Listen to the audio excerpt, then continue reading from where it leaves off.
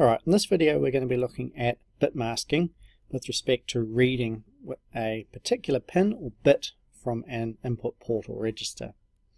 So, in this case we're looking at pin A as an example. So we want to read whether a particular pin of pin A is currently high. What we do to do that is we do what's called bit masking, which is we create a mask. Alright, so this is just like the original register, but we put a 1 in the location of where we want to check whether that bit is, is high. Alright, so basically what we're saying is with this mask, I'll also fill in the zeros, is I don't care what 7, 6, 4, 3, 2, 1, 0 is, I'm only interested in what pin 5 is doing, or bit 5. Right, so if this is my mask, what we do is we use the bitwise and which is the single ampersand. So let's see how it works. Let's say this is pin A. So this is the register in our microcontroller. And let's say this is currently the contents of that register. Alright, so pin 7 and pin 1 are currently high. If we take our ampersand with our mask,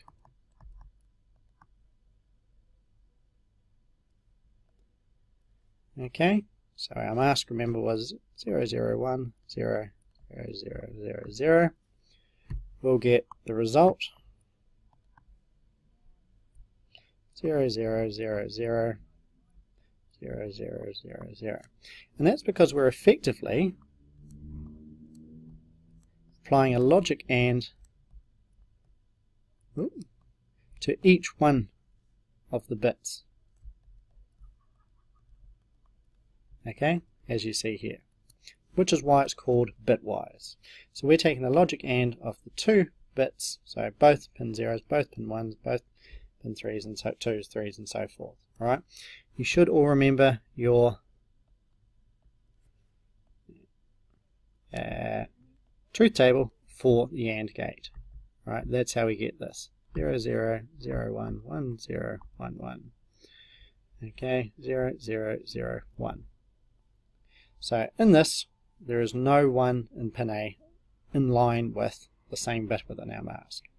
So we get false.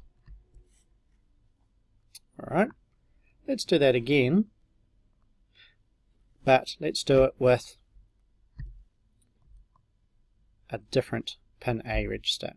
So it's still pin A, but different contents within it. 1, 0, 1, 0, 1, 0, 1, 0. We'll apply our mask to that.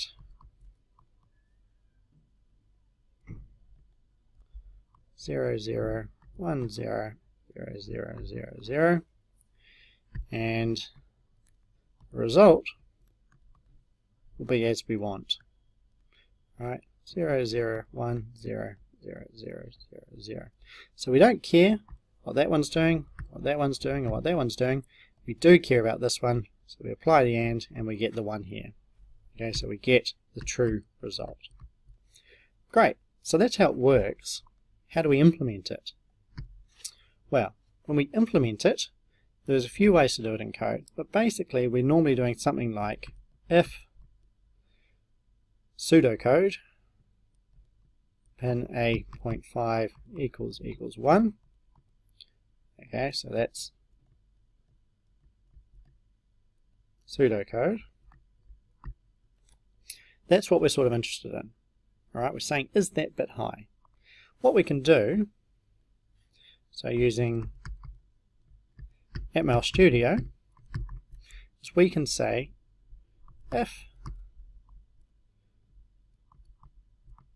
pin A, that's the register, logical AND, sorry, bitwise AND, 1 shifted to the left PA five times.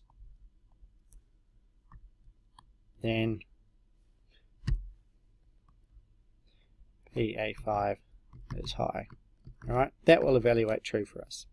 And how that works is, this little guy here, he's defined in the header file, and that guy says how many positions along PA5 is within pin A. Right, so that automatically, this bit here, is our mask. That's pin A, obviously, and that's our AND. Alright, the result, as we saw up here, was 0010000. We're not interested whether it's just in that particular bit location in the result. All interested in within our if statement is, is the result byte high? Which means basically, is it true? And is it true is if it's any number that's greater than 0. Alright, so true if byte greater than 0. So 1, 2, 3, all the way up to 255. Okay, so it doesn't matter where you put that byte, uh, sorry, where you put that 1, this will evaluate true. If that resulting byte, okay, so all of that uh, is greater than 0. Okay, remember, if you use two ampersands, true for any input. And this is a bug. Alright, so we don't use that when we're using bit masking. Okay. Not for bit masking. Okay, and that's it. Alright. Take the register that you want to check against, create a mask, now whether you create that in binary, in the hexadecimal, or you do it my way, by using a define built into the header file, which I think is a much better way. Bitwise AND them together, check to see if that value is true, which is any integer value greater than 0, then it will uh, evaluate within the if statement.